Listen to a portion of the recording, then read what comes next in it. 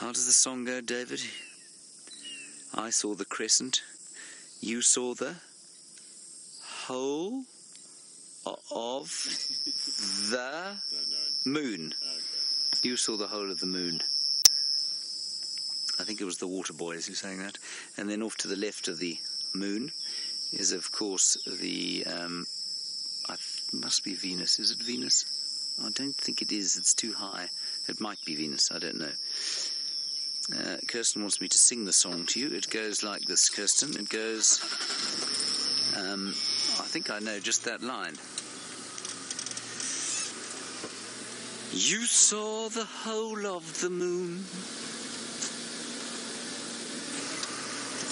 It's actually quite a nice song. You should check it out. The Waterboys.